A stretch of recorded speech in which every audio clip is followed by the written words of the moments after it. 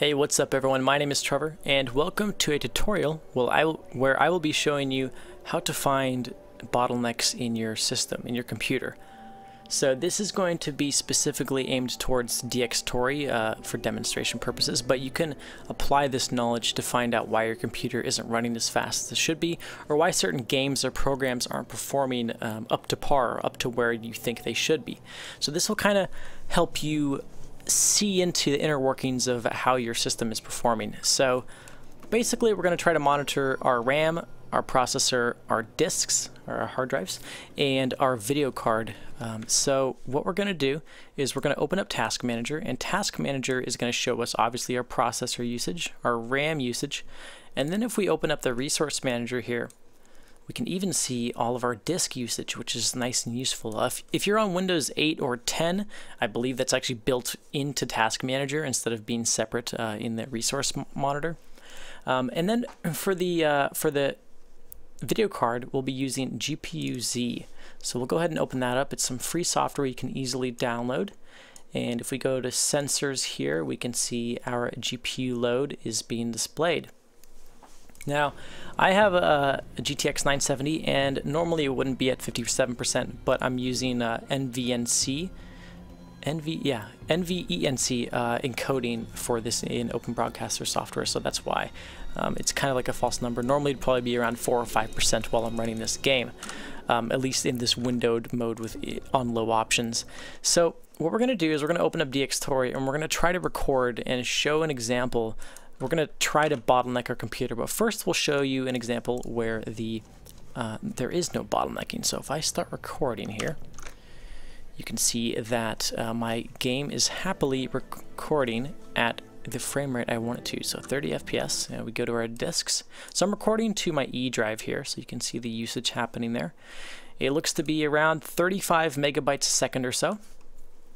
And all is well. You know, we're, we're hitting the frame rate target we want to. The game is nice and playable, and there doesn't really uh, seem to, to be any issues. So what we'll do is we'll stop recording that, and then we'll go back to DxTory. And, you know, people want to do things like 1080p 60 FPS, 720p 60 FPS, uh, things like that. Now, keep in mind that each codec has different demands. Um, Lagarith is actually a little easier on the hard drive than the DxTory video codec. This is the default codec that it comes with, and this takes quite a bit of write speed.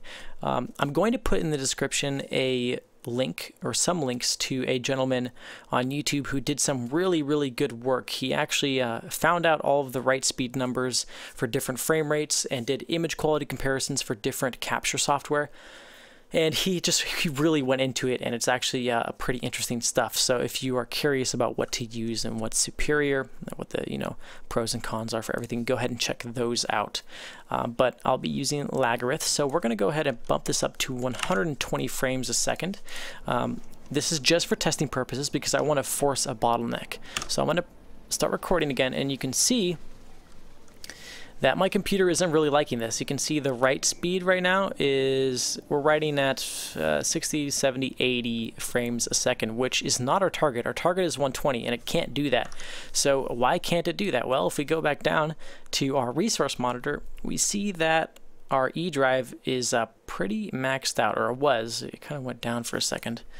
Uh, oh, because ta I tapped out. But yeah, it's it's maxed out. It's not liking, uh, it's not loving life right now and that's our bottleneck. If we go to uh, GPU-Z, we see that our GPU load is not maxed out, it's at 60%. Um, if we go to Windows Task Manager, we see our RAM is sitting pretty happy at 4.5 gigs, uh, nowhere near uh, topped out, and my CPU usage is pretty low. So we can take from this that the bottleneck is the hard drive. Um, if the CPU usage was 90 to 100% or 100%, that would be our bottleneck. Uh, same with the RAM and same with the GPU load. So it's actually pretty straightforward, but you know, hopefully this will help those that are trying to figure out why their computer isn't running DxTory or different programs at um, at speeds that they expect it to. This easily shows you what your bottleneck is. If you have any questions, feel free to leave those in the comments. Hopefully, uh, this helped some of you.